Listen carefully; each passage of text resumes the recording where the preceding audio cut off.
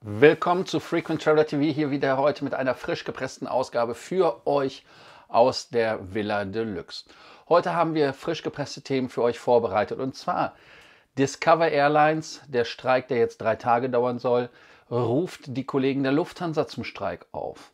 Discover Airlines, also ein Sprecher von Discover Airlines, eigentlich ist er ein Sprecher von Lufthansa gewesen, lustigerweise, der sagte, ähm, zwei Drittel der Flüge sollen stattfinden. Dann haben wir für euch nochmal äh, Brüssel oder Brussels Airlines. Heißt also, ich muss Brüssel, habe ich geschrieben, warum? Komisch. Also Brussels Airlines äh, drohen auch mit Streik. Und jetzt kommt das Geile, sie sagen, es ist ein ungemütlicher Sommer. Also auch hier wieder viel Spaß und Freude. Wir haben dann ähm, ein Thema Flughafenstreiks sollen weniger werden, weil es eine Art ja, einen äh, Gruppentarifvertrag geben soll.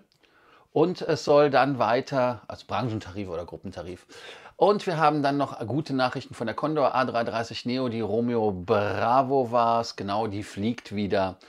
Gucken wir mal, wie da das weitere Planungsverhalten der Condor ist mit. Und wir haben Austrian 777, die auf der Kurzstrecke fliegen soll diesen Sommer. Auch interessante Sachen. Auch was wichtig ist, solltet ihr an dieser Stelle immer wieder äh, euch angucken. Wir haben heute auch wieder einen, ja, einen Meilenmittwoch, aber an einem Samstag. Kanalmitglieder ab Business Class können den sich sofort anschauen, genau wie die Kanalmitglieder ab Business Class auch ab sofort kostenlos an den Stammtischen teilnehmen können. Ihr könnt mir immer eine Nachricht schicken, dann schicke ich euch eine Teilnahmebestätigung. Ganz wichtig.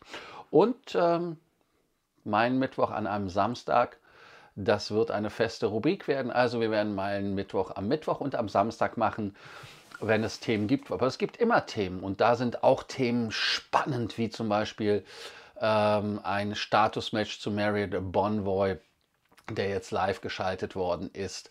Auch haben wir ein Thema 15-fache Meilen bei Lufthansa Miles immer pro ausgegebenem Euro. Und was haben wir noch? lasst euch überraschen.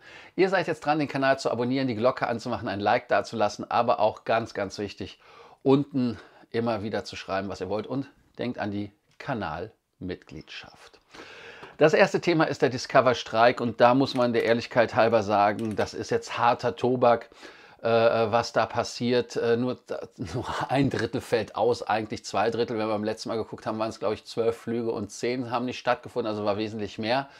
Äh, wenn man jetzt in die Berichterstattung reingeht und sich das Ganze anguckt, was da äh, geschrieben wird, ist es so, dass ähm, die Lufthansa davon ganz klar ausgeht, dass zwei Drittel aller Flüge stattfinden. Und das sagte ein Sprecher der Lufthansa gestern am Freitag.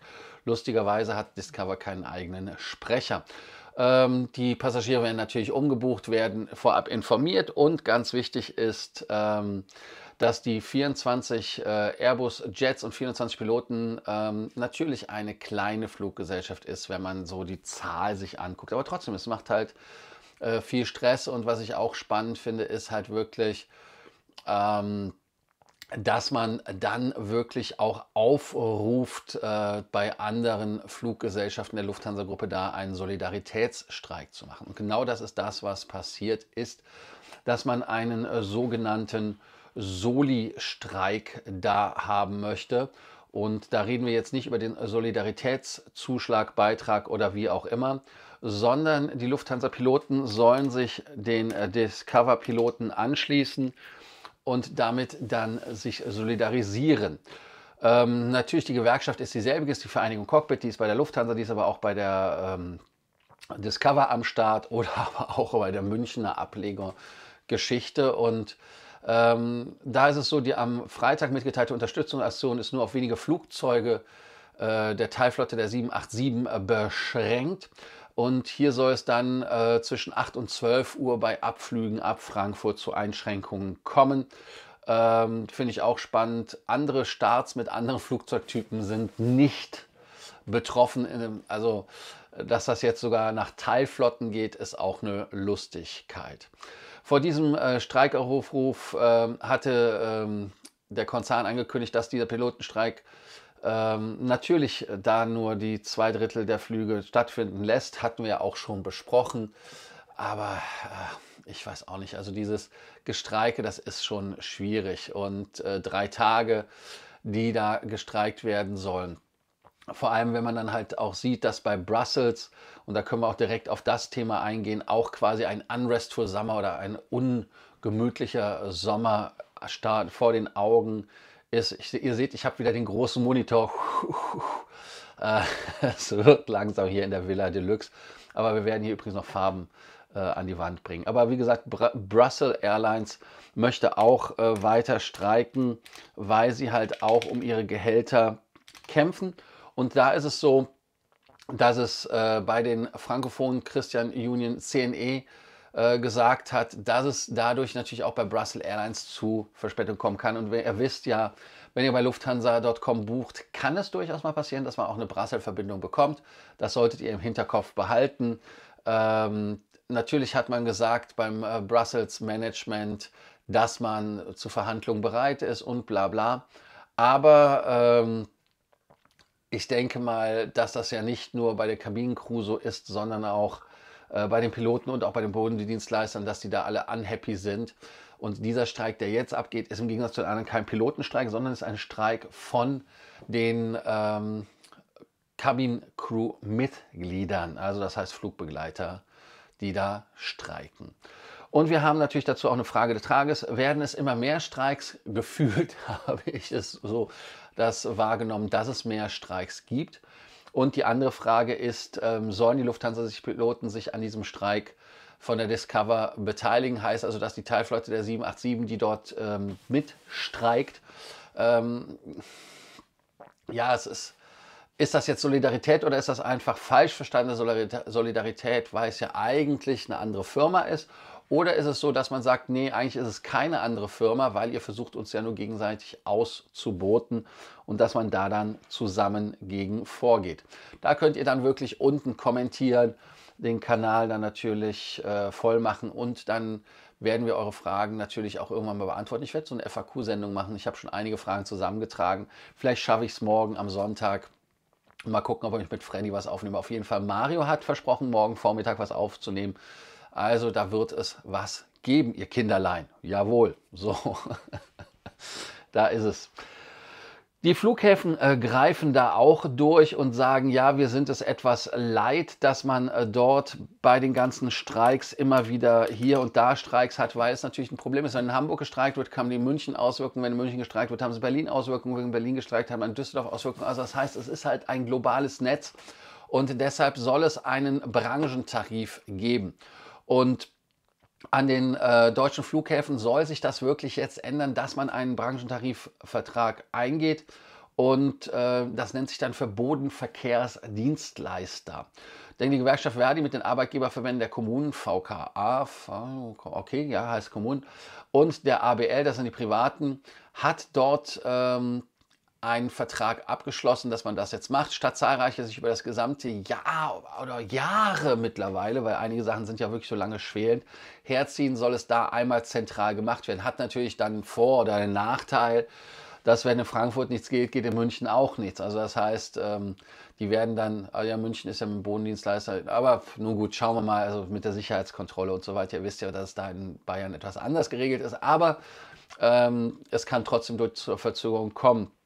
Und man möchte da halt auch einen Manteltarifvertrag machen und einen, einen Geldtarifvertrag, so wie es dann klassisch üblich ist. Und äh, man wertet diesen Abschluss als großen Erfolg. Denn äh, die Branchentarifvertrag ist unsere tarifpolitische Antwort auf 20 Jahre Deregulierung und Lohndumping am Flugzeug, äh, Flughäfen, Flugzeugen sowieso. Ähm, jetzt können wir den Wettbewerb auf Rücken der Beschäftigten ein Ende setzen. Ähm, ich persönlich bin mal gespannt, was ihr davon haltet. Heißt also, heute haben wir ja alleine die ersten zehn Minuten gefühlt, naja, es waren sieben Minuten, über Streiks geredet. Äh, und dadurch, dass der Lufthansa-Konzern so weit verzweigt ist, haben wir auch belgischen Streik abgedeckt. Ihr könnt ja wirklich unten kommentieren, was ihr dazu haltet und äh, den, die Kanalfrage oder die Kanaltagesfrage, so ist es richtig formuliert, beantworten. Da bin ich auch gespannt auf eure Themen. Wo wir auch alle drauf gespannt waren, das war bei den Freunden von der ähm, Condor. Die hatten ja mit der Romeo Bravo ein fabrikneues Flugzeug und äh, bei dem fabrikneuen Flugzeug ist es in der Tat so gewesen, dass es dort Probleme gab, weil es Unfall gab. Und zwar gab es da ein Loch im äh, Rumpf, weil da jemand gegengefahren ist mit seinem Catering-Fahrzeug. War natürlich problematisch, aber die äh, Romeo Bravo ist jetzt repariert und das hat auch wesentlich länger gedauert, als man gedacht hat. Und sie soll dann schon ähm, heute Gäste fliegen, ja. Und zwar 25 Tage nach der Einflottung ist dieser Unfall passiert. Dann gab es ähm, halt das Problem, dass man seit dem 27. September, da ist das äh, mit dem Unfall passiert, ähm, auf das Flugzeug verzichtet hat. Also Oktober, November, Dezember, Januar, Februar. Fast fünf Monate Ausfall, was das an Geld kostet. Ich hatte ja gestern gesagt, was Flugzeuge kosten im Monatsleasing.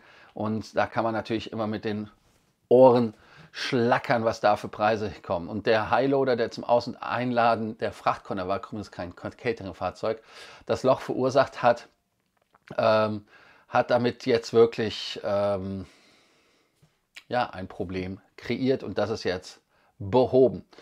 Ähm, man möchte damit als erstes nach Cancun fliegen, heißt also Mexiko, Ole, schön in die Sonne mit der grün lackiert war sie, ne? Nee, blau lackiert ist sie. Äh, mit der blau lackierten Ringesocke dann nach Mexiko. Und ähm, der Testflug der hat natürlich alles kontrolliert. Man muss natürlich gucken, dass alles in Ordnung ist, dass alles dokumentiert wird und damit ist das dann in Ordnung. Aber am Dienstag ist das Flugzeug ja dann auch dem Testflug gegangen. Wenn ihr wissen wollt, wie es, äh, der Testflug war, wir können uns das mal einmal, glaube ich, auch angucken auf Flight Radar. Da muss ich mal einmal kurz ähm, hier das eingeben, Flight Radar. Und dann gucken wir mal die Kennung an. Und zwar war das die Delta, ähm, Delta Alpha Romeo November Bravo. Habe ich das richtig gesagt? Nein, November Romeo Bravo. Und da seht ihr das dann. Warte, ich gebe euch das auch auf die Augen. Wenn man so viel Bildschirm hat, dann. Und da seht ihr es äh, jetzt auch größer. Da ist sie dann geflogen am 14. Und da können wir uns das mal gucken, angucken, wie die Strecke war. Da seht ihr das auch, dass man dann von Frankfurt aus, wir drücken einfach mal da auf Play oder ich mache es mal ein bisschen schneller, dann nach Norden geflogen ist, ein bisschen Kreise geflogen ist, wieder über Kassel an Hannover vorbei, ist das hier irgendwo Uelzen gewesen, Hamburg, dann raus auf die Nordsee zurück, schlupp, warte, da war ich zu schnell und dann wieder mit einer Kurve über Hannover zurück. Hups, hups, hups, hups, hups, da waren wir mit der Richtung falsch. So, und dann einmal um die Ecke rum, ups, und dann wieder in Frankfurt gelandet. So, man muss mit dem Cursor auf, der, auf dem Flugzeug bleiben. So, äh, damit gebe ich euch dann wieder ähm, mein äh, Gesicht. Damit haben wir das nämlich auch abgearbeitet, äh, was damit passiert ist. Und dann haben wir als letztes Thema heute wieder ein Thema zum Abschluss und zwar die Boeing 777, die halt da unterwegs ist von Austrian Airlines, aber nicht auf der Langstrecke, sondern auf der Kurzstrecke. Und da viele von euch ja gerne mit Langstreckenflugzeugen auf der Kurzstrecke fliegen, ist es so, dass man im April und Mai von Frankfurt aus äh, äh, und von Zypern aus nach Wien fliegen kann mit der 777. Heißt also auf der Kurzstrecke, Lanaka ist natürlich ein bisschen hübscher, weil es ein bisschen länger ist, aber geplant sind die Flüge zwischen Wien und Frankfurt am 12. März immer Dienst, also bis 12. März immer dienstags als OS 205 206, dann als 215 216, am 4. April, am 14. April als 03 äh, 203 und 204 OS und als 213 und 214. So geht das dann weiter im Regelfall bis dann zum 31. Mai. Es gibt übrigens auch Berlin, da gibt es nur zwei Umläufe von Wien nach Berlin. Ähm, einmal den Hinflug, ähm, was war es denn? Am 4. März, am 18. März und am 25. März, also das heißt, es gab drei Umläufe sogar äh, als OS 235 und 236. Damit könnt ihr das machen. Und Lanaka gibt es am 1. April, 6. April, 13. April, am 20. April, 12. Mai, 17. Mai und 12. Ne Quatsch, 26. Mai als OS 831 um 12.30 Uhr der Abflug nach Lanaka und dann zurück geht es dann mit der US 832 Flugnummer um 17.30 Uhr und dann ist man um 19.40 Uhr wieder in Wien. Die Flüge finden natürlich äh, oft statt zur Schulungszwecken und so weiter. Das ist der Grund, weil man da Piloten schulen möchte. Ihr fragt euch immer wieder, warum macht ihr das? Was haben wir denn noch als Themen? Gar nichts mehr. Denn jetzt seid ihr dran, den Kanal zu abonnieren, die Glocke anzumachen, ein Like dazulassen und auch wieder euch auf die morgige Sendung zu freuen. Und für alle Business Class Mitglieder, Kanalmitgliedschaft, ihr seht das ja schon früher und ihr könnt auch schon die Sendung wahrscheinlich dann relativ kurzfristig sehen. Unser Meilenmittwoch aber an einem Samstag und ähm, könnt da auch schon rege kommentieren und ich freue mich. Also schaut unten und viel Spaß. Bis dann und ich bin hier raus. Ich gebe euch aber nochmal den Abspann. Da haben wir ihn auch schon. Also bis dann, ciao.